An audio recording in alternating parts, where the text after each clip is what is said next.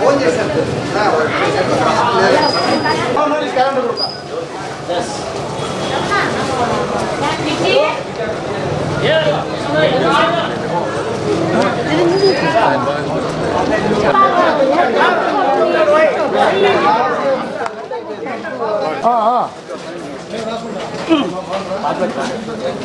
Doctor బాగా చేస్తారు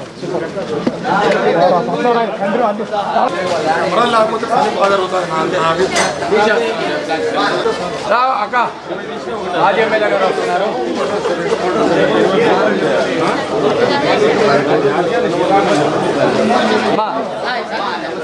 ఇదమ్మా పామ్లెట్ మాజీ ఎమ్మెల్యే గారు వచ్చారు. ఏం పర్వాలేదు మేడం స్వామి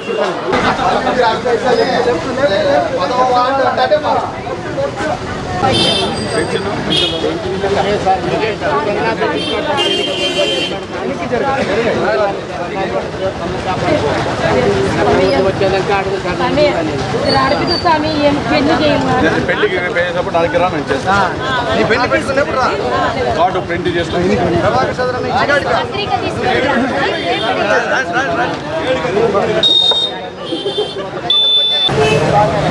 कर्मा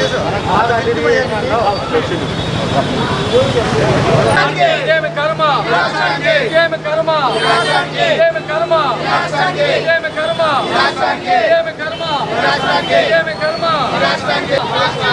कर्मा कर्मा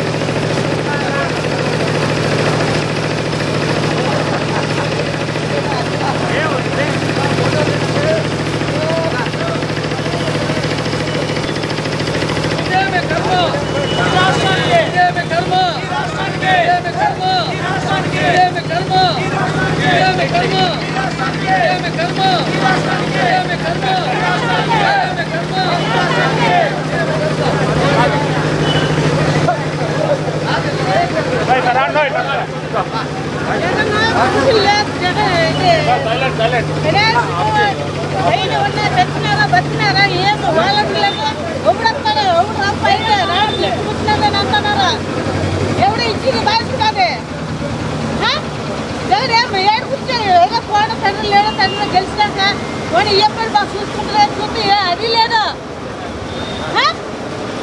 నేను ఫస్ట్ జగన్దే.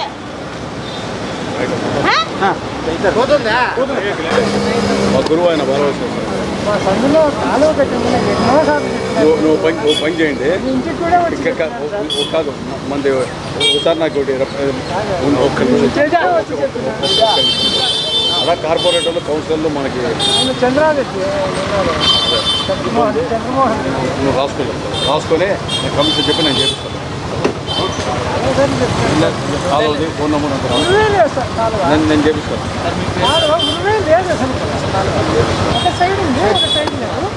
సమస్య చెప్తాను. ఆ సైడ్ వచ్చే వాటర్ అంతా మా ఇంటి దగ్గరకు వచ్చేస్తాం. మీ నెంబర్ చెప్పండి ఫోన్ నెంబర్ లేదా రాసుకుంటాను చెప్పే డీటెయిల్స్. మీ పేరు మీ ఫోన్ నెంబర్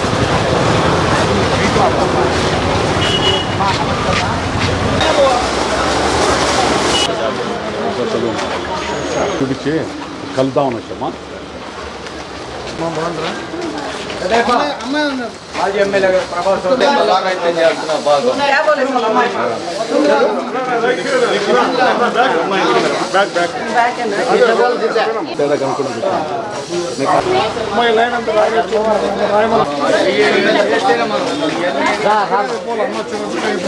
ಆಮ್ಲೆಟ್ ಇಲ್ಲ ಮಾಡ್ತಾರೆ ಇಲ್ಲಿ ವೈಟ್ ವೈಟ್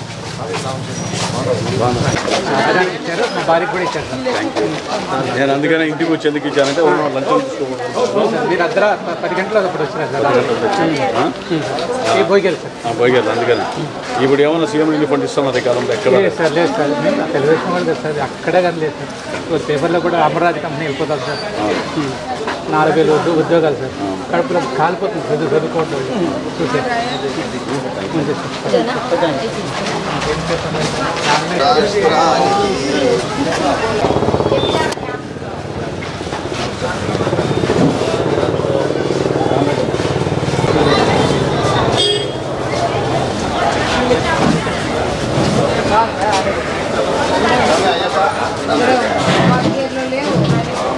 మొన్న అవ్వు అడిగా కనపడటం లేదు అని నేను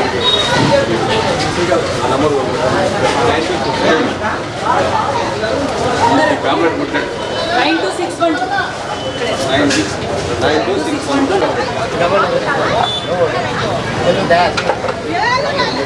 nine six one two కదా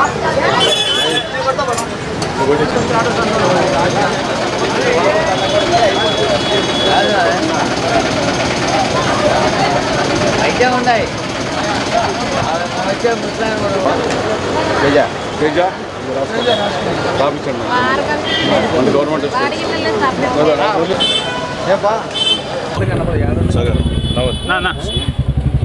రాష్ట్రంలో జగన్మోహన్ రెడ్డి ప్రభుత్వం వచ్చిన తర్వాత పలు ప్రజా వ్యతిరేక విధానాలు అవలంబిస్తూ ప్రజల్లో ఓ భయోత్పాతమైనటువంటి వాతావరణాన్ని కల్పిస్తూ ఒక నియంత్రణ పరిపాలన కొనసాగిస్తున్నానని చెప్పి ప్రతిపక్ష పార్టీలు పదే పదే చెప్తున్నప్పటికీ అందులో ప్రధాన ప్రతిపక్షమైన తెలుగుదేశం పార్టీ అహర్నిశ చెప్తున్నప్పటికీ కూడా చంద్రబాబు నాయుడు గారు ఆదేశానుసారం ఇదేం కర్మ ఈ రాష్ట్రానికి అని చెప్పి ప్రజల్లో ఉవ్వెత్తునొచ్చినటువంటి వ్యతిరేకత ఏదైతుందో దాన్ని పసిగట్టడానికి సమీక్షించడానికి ప్రజల్లో ఉన్నటువంటి బాధలు తెలుసుకోవడానికి సమస్యలు తెలుసుకోవడానికి ఇదేం కర్మ ఈ రాష్ట్రానికి అనే కార్యక్రమానికి శ్రీకారం చుట్టింది. అందులో భాగంగా అనంతపురం జిల్లా ముఖ్య కేంద్రంలో ఈ కార్యక్రమాన్ని ఏర్పాటు చేశాం ఎక్కడికి పోయినా ప్రజలు మా పెన్షన్ పీకేశారు మా రేషన్ కార్డు పీకేశారు మాకు ఇల్లు స్థలం ఇస్తామని ఇవ్వలేదు టిట్కో ఇల్లు పీకేశారు ఇవన్నీ కూడా చెప్పేటువంటి పరిస్థితి వచ్చింది.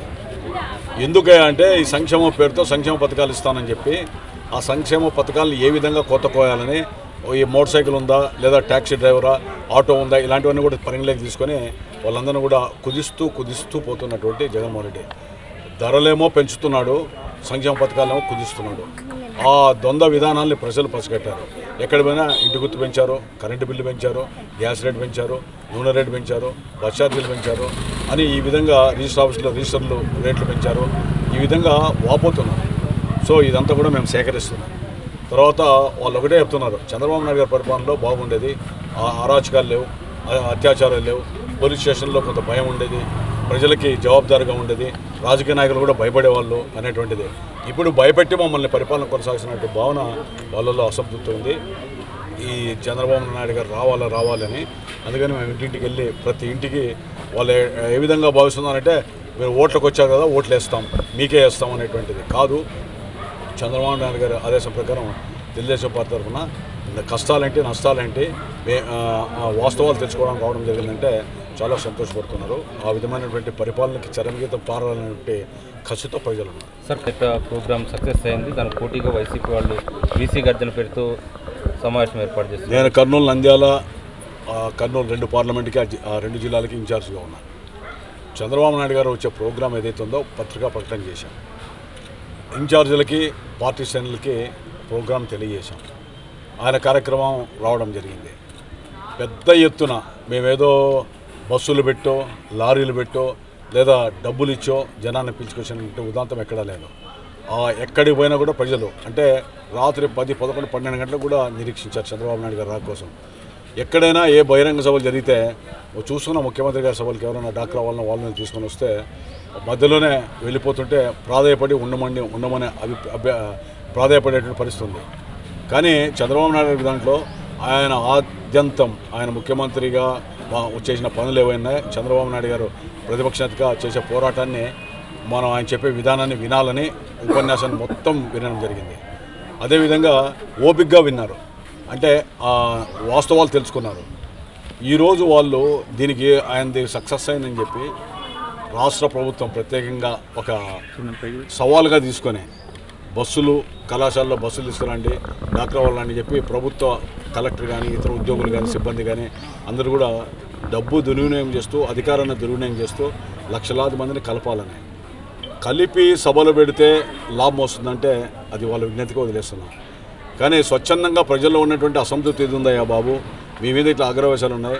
ఇప్పుడు మీ దౌర్జన్యాలు మీ ప్రజాప్రతినిధుల యొక్క దోపిడీ ఇసుక దోపిడీ ఇవన్నీ కూడా ప్రజల్లో చాలా ఆవేశ ఆవేశాలతో ఉన్నారని చెప్పి చెప్తూ ఉంటే పద్ధతి మార్చుకోమని ప్రతిపక్షాలు మేము చెప్తూ ఉంటే బేఖాతారని చెప్పి వాళ్ళ పని వాళ్ళు చేస్తున్నారు. ఎన్ని సభలు పెట్టినా ఎంతమంది లక్షలాది మంది పోటీ చేసినా కూడా అది కేవలం వాపు మాత్రమే బలం కాదు. చంద్రబాబు నాయుడు గారు కార్యక్రమంలో పార్టిసిపేట్ చేసే వాళ్ళంతా కూడా అది బలంగా దాన్ని మేము భావిస్తున్నాం. ప్రజలు కూడా అది బలమనే విశ్వసిస్తున్నాం